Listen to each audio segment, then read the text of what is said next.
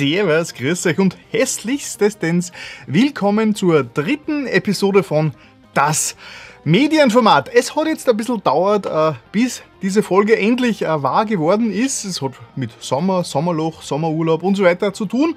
Aber ich glaube, ich bin nur im äh, Gesamtrahmen, weil ich habe immer gesagt, ich schaue, dass ich so eine Folge pro Monat äh, veröffentliche herum und ich denke, äh, da bin ich nur ganz knapp im Schema, ja so zwischen drei und fünf Wochen. Ich glaube, das ist die, der Zeitbereich, wo sich das Ganze einpendeln wird. Ja, aber gar nicht so viel schwafeln, gehen wir diesmal gleich direkt ins Eingemachte äh, und diesmal versuche ich ja äh, kürzer zu sein, weil letztens, also Medienformat Nummer 2 hat ja vor 35 Minuten gedauert und ich habe da schon vor allen Seiten das Feedback gekriegt, ah, Humal, du bist so das wahnsinns knusprige Beute, das ist viel zu lang, ab 20 Minuten steigt mir, äh, steige ich aus, das ist zu viel, bla bla bla.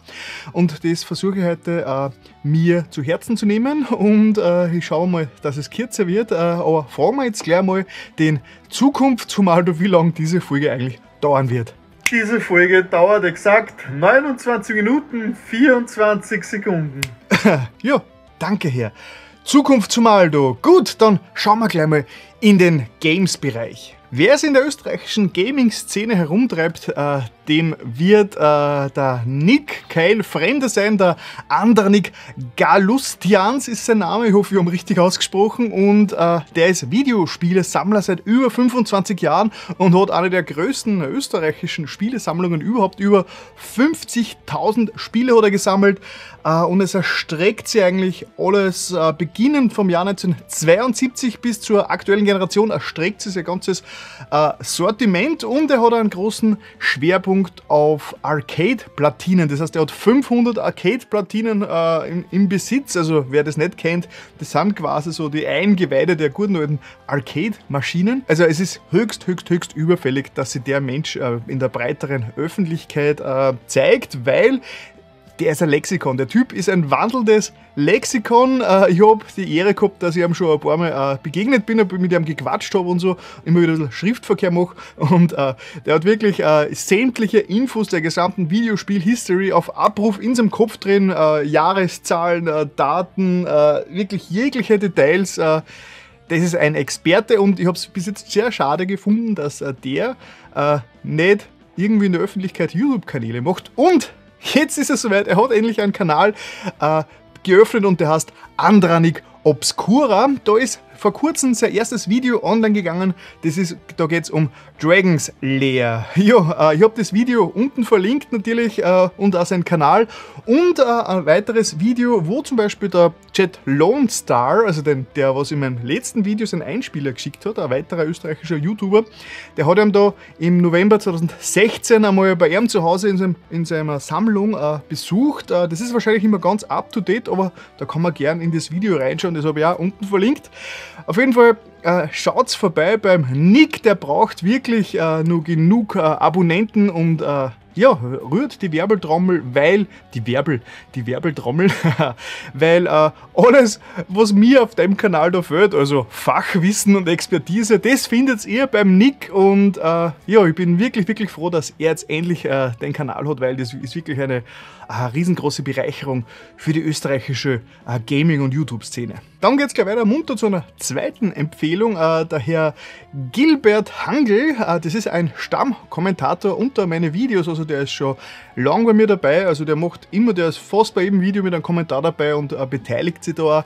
Es ist ein sehr, sehr, sehr dankbares Community-Mitglied und ich freue mich immer, wenn ich einen Kommentar sehe und der hat aber selbst auch einen YouTube-Kanal, nämlich Professor Plays und da macht er Let's Plays und sein, äh, sein Steckenpferd sind Rollenspiele, also RPGs, Role-Playing Games und da hat er mal einen kleinen Uh, einen kleinen Einspieler gebastelt, uh, wo er so ein bisschen einen Überblick über alles gibt und uh, das möchte ich euch natürlich nicht vorenthalten.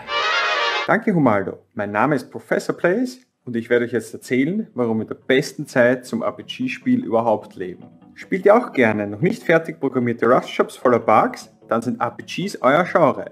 Von den Anfängen als Dungeons Dragons Ports bis hin zu CD Projekts Witcher 3, Computer-RPGs sind eines der Urgenres unter den Videospielen. Auf meinem YouTube-Channel habe ich schon so manchen Streifzug durch RPGs unternommen, wie hier die Westland 3 Beta, die kürzlich rausgekommen ist, dazu später noch ein bisschen mehr. Oder hier Fallout 1, gerade erst fertig gespielt, nicht alle NPCs haben überlebt. Oder hier das Schwarze Auge 3, Schatten über Riva, ein Klassiker der deutschen RPGs aus den 90ern. Wenn auch etwas eigenwillig.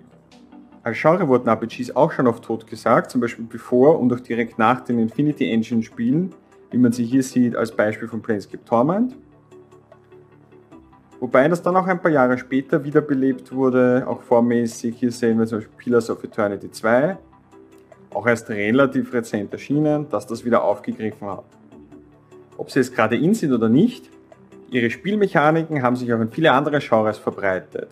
XP, Hitpoints, Equipments, NPCs, Loot, das sind alles Kernmechanismen von vielen Genres, zum Beispiel hier in dem Metroidvania Bloodstained Ritual of the Night. Das würden die meisten Leute nicht wirklich als RPG bezeichnen, aber abgesehen davon, dass es Plattformmechaniken hat, können wir die meisten Mechaniken auch eindeutig in RPGs verorten. Meine persönlichen Lieblinge bleiben aber immer noch die isometrischen, stoppbaren oder rundenbasierten Team-RPGs wie hier Planescape Torment aus dem Jahre 1999. Das ist überhaupt mein Lieblings-RPG, extrem klasse Story. Aber auch in der letzten Zeit gab es viele Kandidaten. Hier sehen wir zum Beispiel The Outer Worlds, das versucht hat, sich mehr am Fallout 3-Stil zu bedienen, sehr ambitioniert war, aber dann leider daran gescheitert ist, dass es nicht so großmaßstäblich aufgezogen war und einfach die Scope also in der Spielwelt nicht hinbekommen hat. Mehr Hoffnung setze ich aber in drei Spiele aus der 2021-Periode, die ich jetzt kurz vorstellen möchte. Das erste ist Wasteland 3, ein Kickstarter-finanziertes RPG, das postapokalyptisch unterwegs ist, diesmal in Colorado im Permafrost und mit den Desert Rangern für Gerechtigkeit sorgen. Ich habe es aber nicht weniger lieb als meinen nächsten Kandidaten, Vampire the Masquerade Bloodlines 2, der Nachfolger des Kult-RPGs von vor vielen, vielen Jahren, das damals auch ziemlich verpackt war. Hier tauchen wir ein in die World of Darkness, ein altes Rollenspiel-Setting, in dem wir die Rolle eines Vampirs übernehmen und damit das nächtliche Seattle erforschen. Inbegriffen sind coole Vampirfähigkeiten, grausliche Gegner, hoffentlich auch ein spannender Plot und hoffentlich auch genug RPG und nicht nur Rumgehüpfe, sonst muss ich mich dann wieder ärgern. Als drittes Spiel natürlich wenig überraschend Cyberpunk 2077, das sozusagen große Nachfolgeprojekt zu Witcher 3 von CD Projekt Red, bei dem wir in einer dystopischen Zukunft voll vercybert und begleitet von Keanu Reeves Abenteuer erleben werden. Da freue ich mich schon ungemein drauf und bin nicht der Einzige. Bis das rauskommt, gibt es aber auch auf meinem YouTube-Channel Professor Plays dystopische Abenteuer. Und zwar mit Fallout 2, das ich mit dem Restoration Project Mod spielen werde, das Bugs beseitigt und verlorenen Content wiederherstellt. Also schaltet mal zu, wenn euch das interessiert. Damit sage ich danke Humaldo für die Möglichkeit, mich hier zu präsentieren und noch eine schöne Episode. Dankeschön an den Gilbert für den Einspieler und äh, ja, ihr findet unten wieder den Link zu seinem Kanal Professor Plays. Und äh, ich habe ja selber ein bisschen was gespielt, leider nicht genug, äh, weil wie das so ist im Sommer hat man oft Besseres zu tun als drinnen vor dem Fernseher und vor der Konsole oder vor dem PC zum Sitzen. Äh, aber eins, eins ist ja ausgegangen und eins äh, bin ich sehr, sehr, sehr, sehr froh und sehr stolz darauf, dass ich über das heute reden kann. Das ist äh, ja, der Spongebob. Weil, also, um, um, es, um die Geschichte ein bisschen zu erzählen, das da ist ein Spongebob Schwammkopf Schlacht um Bikini Bottom und das ist ein PlayStation 2 Spiel aus dem Jahr 2003. Das ist damals auch noch für die alte Xbox und den Gamecube rausgekommen. Ist ein klassischer äh, 3D Jump'n'Run Plattformer. Äh, ich habe es damals nicht gespielt, aber ich habe mir das jetzt wieder besorgt, weil äh, ich habe eine persönliche Verbindung mit dem Spiel inzwischen. Weil, wie ihr vielleicht wisst, habe ich immer in der Videospielbranche gearbeitet, nämlich ich war äh, sechs oder sieben Jahre lang bei Sproing angestellt. Und wer Sproing nicht kennt, das, ist, äh, das war einer der längst dienenden österreichischen Spieleentwickler. Von 2001 bis 2017 hat äh, Spring existiert und ich war von 2011 bis 2017 äh, war ich da auch dabei. Dann leider Ende 2017 ist, das, ist die Firma geschlossen worden und dann haben sie die Wege getrennt, äh, aber es hat, es hat sich dann eine Nachfolgefirma gegründet, nämlich Purple Lamp Studios. Und Purple Lamp Studios, wo ganz viele von meinen äh, ehemaligen Arbeitskollegen immer nur dabei sind, äh, die haben jetzt ein Remaster von dem Spiel rausgebracht, nämlich äh, SpongeBob Battle for Bikini Bottom Rehydrated und das ist auf so gut wie allen Plattformen, auf allen modernen Plattformen äh, erschienen, kann man quasi überall spielen.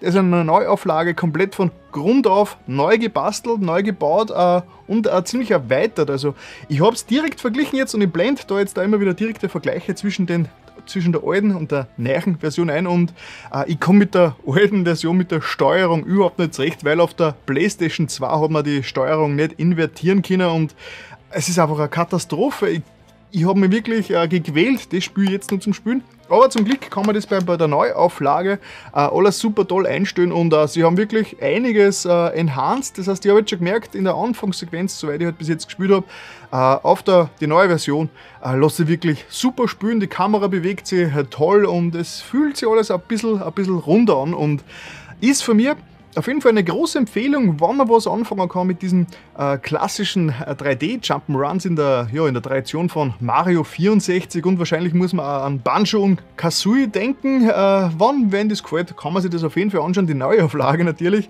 kostet überall so ungefähr 30 Euro und ich denke, das ist es schon wert. Und ah, da muss ich nur eine kleine Anekdote dazu. Euch ist vielleicht schon dieses T-Shirt aufgefallen. Äh, das hat mir damals bei Spring ein Arbeitskollege gebastelt, also im Auftrag von dem Team, wo ich damals gearbeitet habe, ähm, weil ich habe immer damals schon so, ich war immer so der Firmenfotograf. Ich habe auf Firmen-Events und bei Projekten immer äh, fotografiert und habe die, die Fotos da zur Verfügung gestellt. Und das war bei einer großen Firmenfeier, war das eins für die Dankeschöns, äh, was ich gekriegt habe. Und das habe ich immer sehr, sehr hoch in Ehren gehalten, das T-Shirt. Und immer bei Firmen-Events angezogen. Habe ich bei der Übersiedelung äh, letztes Jahr habe ich es irgendwo äh, verloren gehabt und habe es nicht mehr gefunden. Und letzte Woche habe ich es wieder entdeckt und habe es heute, glaube ich, zum ersten Mal vor laufender Kamera und möchte mich da nochmal bedanken beim Stefan, der jetzt übrigens bei Rapcat arbeitet als Digital Artist und äh, Rapcat ist äh, eine sehr bekannte, berühmte äh, österreichische Grafikzuliefererfirma, wenn man das so sagen kann und die machen Assets, Grafikassets für alle möglichen äh, weltbekannten großen Spiele und ja, dann großen äh, Gruß nochmal an den Stefan und an alle anderen, äh, die mich von damals noch kennen und die Ex-Arbeitskollegen von mir, die ich im, in die Credits gesehen habe von, äh, von, von der Neuauflage. Das ist ganz witzig, wenn ich in die Credits reinschaue in ein Spiel und dann sehe ich jeder zweite, jeder dritte Name da, ist ein Ex-Arbeitskollege von mir. Das ist dann schon ein sehr, sehr cooles sehr cooles äh, Feeling. Jo, Games-Teil ist abgeschlossen, kommen wir zum Medienteil. Und der ist diesmal relativ klassisch. Wie ihr schon seht, so ich da hinten Bücher stehen und äh, ja, das heißt, Bücher sind ja auch Unterhaltungsmedien und das ist heute so mein Schwerpunkt. Aber bevor wir zu den Büchern kommen, muss ich noch schnell äh, was erzählen über Dark, die dritte Staffel. Ich habe es jetzt endlich äh, zu Ende gesehen und äh, ich glaube, diesmal muss ich zum ersten Mal äh, eine Spoiler-Warnung anbringen. Und der Zukunftschumaldo sagt euch jetzt gleich, äh, wann ihr dann wieder einsteigen könnt, wann ihr nicht gespoilt werden wird. Und ihr seht es unten, ich habe da, da in der YouTube-Zeitleiste, seht ihr so ein Segment, äh, wo der Spoiler dann vorbei ist. Der Dark Spoiler ist vorbei bei genau 16 Minuten. Tja, was soll ich großartig sagen zur, zu Dark Staffel 3? Staffel 1 hat mir damals wirklich extrem taugt. Das war noch so richtig äh, mysteriös. Staffel 2 war dann eigentlich auch cool, weil es äh, wirklich äh, ganz viel, ganz viel Fässer aufgemacht hat. Und äh, teilweise schon ein bisschen das Big Picture klarer geworden ist, um was es geht, was die Hintergründe sind und so. Und äh, der Schluss von Staffel 2, also wo auf einmal in die letzten zwei Minuten äh, quasi auch nur Parallelwelten eingeführt worden sind, war dann wirklich so ein Oh mein Gott, das konnte jetzt aber wirklich ganz schön schief gehen und das hat sich damals am Ende von der zweiten Staffel auch ziemlich noch, noch äh, an den Haaren herbeigezogen. Jetzt müssen wir Parallelwelten auch noch einbauen, weil äh, wir wollen ja richtig alles verwenden, was irgendwie cool ist. Ja, dann war ein, ein Jahr lang eine Pause, wo wir gewartet haben und dann ist Staffel 3 gekommen. Ja, Staffel 3 war ganz, eigentlich ganz cool von dem, äh, von dem Paralleluniversumsgedanken her, aber irgendwie war das Ganze dann insgesamt zu konstruiert und zu schwerfällig. Mir ist es vorgekommen, als hätte die dritte Staffel die ganze Zeit nur mehr vorgehabt, diese Entwirrungen zu lösen. Es war schon fast wie Staffel 1 und 2, geben da einen Haufen mathematische äh, Aufgaben und in Staffel 3 werden diese Aufgaben dann gelöst. Ich bin mir echt schon vorgekommen, als müssen die jetzt schon langsam mir einen Bleistift und ein Papier hernehmen und irgendwie zum Formeln durchrechnen anfangen und zum Auskreuzen alles. Ah, das war alles schon ein bisschen zu verkopft alles und teilweise wirklich so, so schwerfällig und hat mir dann im Endeffekt ein bisschen die ganze Lust an, an der Serie verdorben, weil manchmal ist es, glaube ich, ganz gut, wann nicht alles bis ins letzte Detail äh, aufgedröselt wird.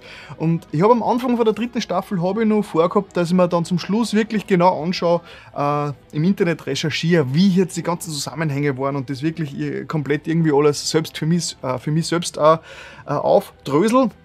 Aber wie ich dann fertig war mit der dritten Staffel, habe ich mir gedacht, pff, irgendwie interessiert es mich jetzt gar nicht mehr. Jetzt bin ich froh, dass es aufgelöst ist, dass es vorbei ist und die Sache ist abgeschlossen. Ja, insgesamt immer nur eine geile Sendung natürlich. Äh, kann man sie, muss man sich fast anschauen. Nur leider ist dann halt die letzte Staffel dann ein bisschen, ein bisschen zart. Okay, vorbei mit den Serien. Jetzt kommen wir schon zum äh, Ausgedruckten sozusagen. Äh, ich habe was gelesen, nämlich ein Buch vom äh, Buch, ein Bühnenstück von Friedrich Dürrenmatt, nämlich die Physiker. Und jeder, der von euch ein bisschen, äh, ein bisschen äh, gebildet ist, kennt das wahrscheinlich, weil das muss man äh, an der Schule lesen. Das ist wahrscheinlich eines von den Pflichtbüchern, das man liest. Und äh, wie, wie, die meisten Sachen, die man in der Schule lesen muss, äh, hat man dann, ist man dann noch ein bisschen erneut und sagt, ah, so ein Scheiß, so ist klumpert. Aber nee, nicht so. Äh, dieses Buch, äh, Die Physiker, ist äh, ziemlich, ziemlich lässig. Es ist rausgekommen im Jahr 1962, also ist auch schon wieder einige Jahre alt, hat nur 90 Seiten, das heißt, das hat man relativ schnell durch. Das hat man, ja, in einem Abend ist, ist durchgelesen. und das Ganze ist als Bühnenstück gehalten, das heißt, es ist in Dialogen verfasst, Dialogen und Szenenbeschreibungen. Ja, um was geht es in dem Buch?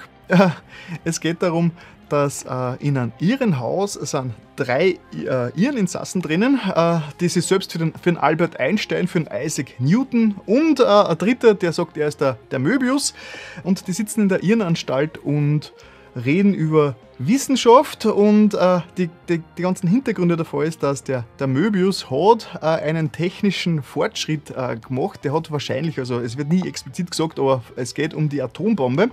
Und der ist dann draufgekommen, dass er, äh, dass er diese, dieses Wissen, diese Atombombe kann er nie veröffentlichen, weil mit, wenn dieses Wissen die, an die Öffentlichkeit kommt, dann ist, der, äh, ist quasi die ganze Welt in Gefahr und deswegen hat sie er als äh, selbst in die Irrenanstalt einliefern lassen und gibt vor, verrückt zu sein, damit er die Welt vor äh, ja, vor der Katastrophe, vor der Atombombe beschützt und äh, mehr will ich eigentlich auch gar nicht verraten. Das ist als Prämisse schon mal eh schon sehr interessant.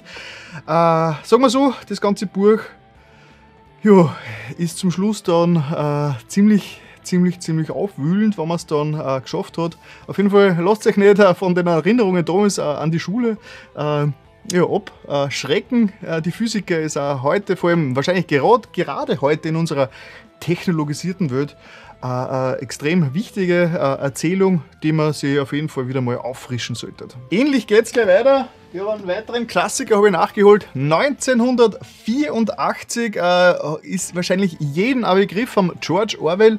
Äh, diesen Schau äh, Schauspieler schon gleich gesagt, diesen Schriftsteller kennt man natürlich auch von der Animal Farm, ist wahrscheinlich auch meistens in äh, der Schule schon durchgenommen worden, aber für alle, die es äh, vergessen haben oder es nicht mehr genau erinnern können, unbedingt lesen. Das ist eines der geilsten im negativen Sinn äh, geilsten Bücher, die es überhaupt gibt. Das Ding ist 71 Jahre alt. Also das ist rausgekommen 1949 und es ist unglaublich, äh, wie zeitgemäß das, Bu das, Buch immer noch ist. Äh, wenn man es liest, also man hat nicht abschrecken lassen, obwohl es so alt ist, äh, kommt nur an ganz wenigen Stellen, äh, kommt außer dass es schon so alt ist. Das heißt, es, es konnte wirklich erst vor kurzem geschrieben worden sein. Ich glaube, das Einzige, was nicht mehr ganz zeitgemäß wirkt, sind, äh, ich glaube, die Teleschirme, also Heute würde man dazu sagen äh, Alexa oder äh, Smartphone.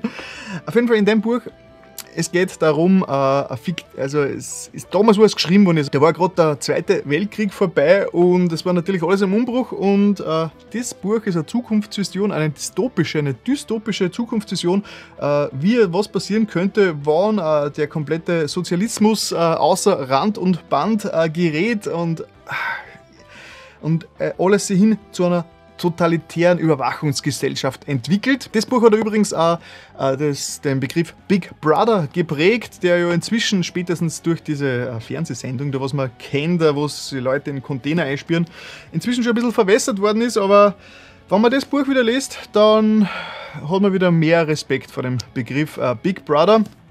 Also eine unbedingte Empfehlung für mich. Lasst euch nicht abschrecken, dass das Ding 70 Jahre alt ist. Es lässt sich wirklich, wirklich extrem aktuell.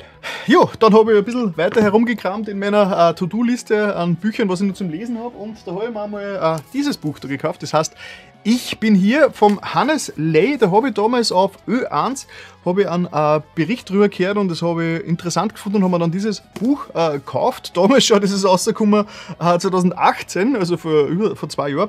Und ich bin bis heute nicht zum Lesen gekommen und jetzt habe ich gedacht, so, wenn ich schon im äh, physikalisches, ausgedrucktes, äh, hölzernes, totes Baumbuch lesen bin. Lesen wir das mal durch, vor allem weil es äh, thematisch gerade wieder ganz gut passt, so mit Hass im Netz und so weiter. Ähm, da geht es darum, dieser äh, Hannes Ley hat eine Facebook-Gruppe gegründet damals, die gibt es heute noch, äh, die heißt ich bin hier mit Hashtag und der hat auch diesen Hashtag eingeführt und äh, der Hintergrund war, er war damals nicht zufrieden, dass diese ganzen Falschinformationen, Hass im Netz, Fake News, äh, damals hat es noch nicht Fake News Kasten oder doch? 2018, okay. 2018 war der Trump schon an der Macht, das heißt, Fake News hat es schon gegeben. Ähm, er wollte da Aktion setzen, quasi, wie man ein bisschen äh, da dagegen wirken kann. Das heißt, er wollte nicht hinnehmen, dass man die Idioten, Trolle und Fake News und Verschwörungstheoretiker im Internet einfach so hinnimmt und sie ignoriert, sondern äh, er hat diese Gruppe gegründet und das ist so ein bisschen eine Aktionismusgruppe, wo quasi die Mitglieder äh, unter diesem Hashtag Ich bin hier äh, unter Newsartikel posten, falls irgendwas äh, aus dem Ruder läuft. Das heißt, die suchen immer noch tagesaktuellen Artikel auf den großen deutschen äh, News-Webseiten und waren dann wieder zum Schimpfen und zum Haten und zum Fake News und zum, zum Verleumden und das ganze Grausliche, was im Internet ebenso passiert. Wenn da was passiert, dann versuchen die das wirklich mit äh, sachlicher Moderation mehr oder weniger einzuschränken, mit die Fakten zu präsentieren und das Ganze wieder in ruhigere Bahnen zu lenken. Weil das Problem im Internet ist ja, dass halt die, die was laut schreien und äh, wütend äh, herumspeiben äh, in der Gegend, dass die äh, meistens diese die sogenannte äh, laute Minderheit sind und alle anderen, die Vernünftigen, die ziehen sie meistens zurück und lassen die da machen und das ist, äh, schafft natürlich ein komplett verzerrtes Bild äh, von der Realität, wenn 10% schreien und 90% nichts sagen, wirkt es so, es waren die 10% wirklich alle. Und das so ist aber dann nicht. Wurscht. Auf jeden Fall, er schreibt, äh, der Hannes Lee äh, in dem Buch drin, äh, schildert er, wie, es der Gruppe gekommen ist, was sie für, was sie für äh, Aktionen gesetzt haben und äh, er geht da ganz interessant auf die Geschichte der Fake News ein und so. Also das ist jetzt nicht nur ein Bericht über, äh, über diese, über, es ist nicht nur Eigenwerbung über diese Aktion, sondern es ist auch ganz interessant wo, über, was es so über Verschwörungstheorien und die Dynamiken hinter diesen ganzen äh, Sachen oder diese leidlichen Sachen im Internet äh, zu wissen gibt. Äh, ich habe dann unten nur ein paar Links äh, verlinkt, die sind da drinnen, äh, Links verlinkt, ja, die sind da drinnen angeführt, hinten äh, so verschiedenste Fact-Checking-Seiten. Das heißt, wenn man selbst einmal über irgendwas Dubioses drüber stößt im Internet, gibt es dann immer wieder Seiten, die eigentlich wirklich versuchen, diese Fake News sofort zu sammeln und äh, faktenbasiert äh, zu aufzuklären. Das heißt, äh, man muss nicht alles glauben, was man im Internet liest, weil es gibt schon genug Möglichkeiten, dass man sich da in die andere Richtung informiert und aufklären lässt. Die, äh, die Ich bin hier Facebook-Gruppe hat inzwischen schon 44.700 Mitglieder. Also das sind wirklich aktive Mitglieder, die da wirklich versuchen, da äh, das Internet ein bisschen äh, faktischer zu machen. Äh, seit, seit Dezember 2016 äh, ist die Gruppe aktiv und bei meinen Recherchen habe ich herausgefunden, dass es jetzt seit äh, eineinhalb Jahren schon eine Gegengruppe gibt, die heißt Wir sind hier. Und äh, die fühlen sich von Ich bin hier äh, bevormundet und äh, ja, links, linke Gutmenschen und so weiter. Äh, die haben zurzeit 1900 Mitglieder und machen quasi genau das Gleiche. Ja, nur halt ein bisschen anders äh, gefärbt. Obwohl natürlich ich bin hier schon gesagt haben, sie haben keine politische Orientierung, sondern sie wollen einfach wirklich nur schauen, dass Fakten nicht vertraut werden, dass alles äh, verhältnismäßig richtig bleibt man kennt es ja. Das ist ja das Problem, warum ich inzwischen so gut wie äh, weg bin von Facebook. Weil, mich, weil ich konnte das nicht, also höchster Respekt an die Aktion, weil ich habe einfach die Nerven nicht, dass ich mich da durchkämpfe. Ich habe kapituliert.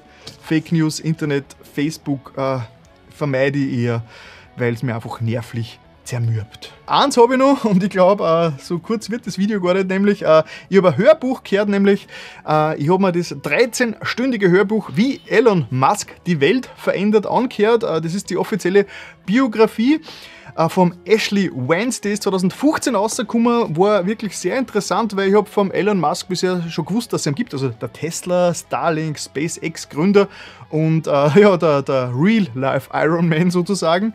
Äh, die Biografie ist ziemlich gut gemacht, äh, ist die einzig bisher offizielle Biografie, wo er wirklich, also der Elon Musk selbst, da ganz stark äh, mitgearbeitet hat, im Sinn von, er hat seine äh, Daten äh, freigegeben für diese Biografie. Sie bemüht sich zwar kritisch zu sein, aber im Endeffekt ist sie doch ein bisschen zu gut gewillt. Also zum Schluss lässt sie sich schon ein bisschen wie ein, wie ein Werbeprospekt. Äh, ja, es hält sich aber in Grenzen und man kriegt wirklich den, einen Einblick in das Leben vom, vom Elon Musk. Also es wird, er wird auch kritisch beäugt, das heißt, er ist wirklich äh, kein einfacher Mensch, was man so mitkriegt. Auf jeden Fall äh, sehr empfehlend, empfehlenswertes Hörbuch oder Buch, je nachdem, Leider hört es schon 2015 auf, auf, das heißt, diese ganze Starlink-Geschichte, also diese Satellitendinger sind noch nicht dabei, die der die Elon Musk gemacht also 100 Millionen äh, Satelliten äh, im Orbit verstreuen, um Internet über die ganze Welt zu bringen und natürlich Neurolink ist auch noch nicht dabei, natürlich, also äh, Gedankenlesegeräte, was auch immer, aber trotzdem eine große Empfehlung. So, und äh, jetzt dauert es ja schon wieder alles viel zu lang. Äh, Deswegen komme ich ja schon zum, zum Endspurt. Äh, Shoutouts und Gastbeiträge gibt es diesmal keinen. Ich habe eh schon am Anfang äh, das vom Gilbert eingeblendet, aber so richtig so, wo jemand äh, sein, sein Lieblingsmedium der letzten Zeit vorstellt, habe ich jetzt keins gefunden und das benutze ich gleich mal äh, als Aufforderung. Erst da draußen könnt mir das, könnt mir das einschicken. Das heißt, an dieser Stelle kommt dann euer Beitrag, wo ihr über irgendein Videospiel, äh, äh, eine Serie, ein Film, ein Buch, ein Podcast, äh, was auch immer, redet. Ich habe ich hab das ja in der Vergangenheit schon gesehen, der Jet Lone Star und die P-Grooves waren schon dabei. Und ich habe eine Seite erstellt, nämlich unter Humaldo TV slash Gastbeitrag, alles unten verlinkt. Da findet ihr ja nochmal alle Infos, was es braucht, um mir so einen Beitrag zu schicken. Das würde mich sehr freuen. Äh, ein bisschen, muss ich da ein bisschen äh, anspornen. Äh, ich habe schon ein paar Zusagen habe ich schon gekriegt, aber bis jetzt noch keine Beiträge. Ich weiß, es ist immer ein bisschen lästig, so äh, Fremdbeiträge zum Schneiden. Aber wie gesagt, wir haben ja alle was davon. Äh, ihr könnt euch, äh, euch einen Kanal und was auch immer präsentieren bei mir in meinem Format und ich habe ein bisschen äh, Content für mein, für mein Videoformat. So, zum Schluss gibt es noch den Kommentar der Folge.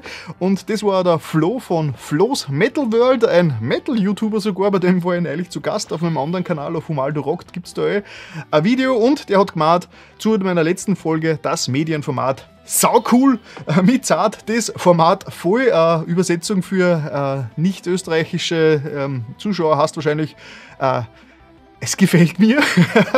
Äh, das Gaming überspringt er immer ja, Flo ist kein Gamer, aber sonst saugeil. Und äh, ja, ich soll ihn bei Dark am Laufenden halten. Vielleicht fang das auch an. Äh, falls du den Spoiler übersprungen hast, äh, du kannst das ruhig anfangen. Es ist eine, eine geile Serie, die zum Schluss vielleicht ein bisschen nachlässt, aber trotzdem insgesamt äh, empfehlenswert ist. So, gut. dann äh, hätten wir es endlich wieder zum Ende geschafft. Äh, und dann bedanke ich mich wieder mal hässlichst äh, bei euch, dass ihr zugeschaut habt, dass ihr mich äh, unterstützt, indem ihr meine Videos schaut. Äh, falls ihr es noch nicht gemacht habt, äh, das meinen Kanal abonnieren, das hat mir extrem gefallen. Ihr seht es schon, ich bin zurzeit auf 235 Abonnenten. Wäre geil, äh, wenn ich bis Ende des Jahres 500 schaffe. Ich glaube, das. Ah, naja, 500. Oh, okay. Nein, man soll, sich ja, man soll sich ja Ziele setzen, aber man soll es jetzt nicht zu hoch anstecken. Ich meine, 500 war geil, aber ich glaube, ich bin schon froh, wenn ich bis Ende des Jahres bei 300 bin. Auf jeden Fall, äh, Dankeschön fürs Vorbeischauen. Ich hoffe, ich habe euch was äh, näher bringen können und euch hat das Ganze unterhalten. Und man sieht sie demnächst wieder irgendwo im Internet, weil man ist ja nicht blind. Pfiat euch.